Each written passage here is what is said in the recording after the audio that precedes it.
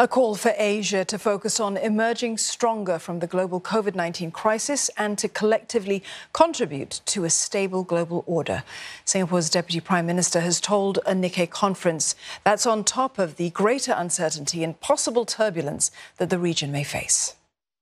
While Asia's growth potential is remarkable, the realization of this potential is far from predetermined.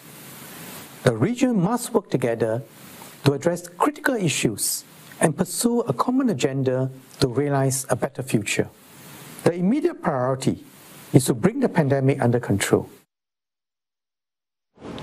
Mr. Heng says Asia must focus on investing in emerging opportunities across borders.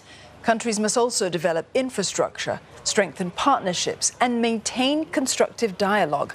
He's also highlighted another critical area of cooperation. When the time is right, we should work towards resuming the safe movement of people across borders. This will be critical for economic recovery and growth. Vaccinations will be an important enabler to resuming safe travel. We can also work with like minded countries, including Japan, and with international organizations to pursue common health and travel arrangements.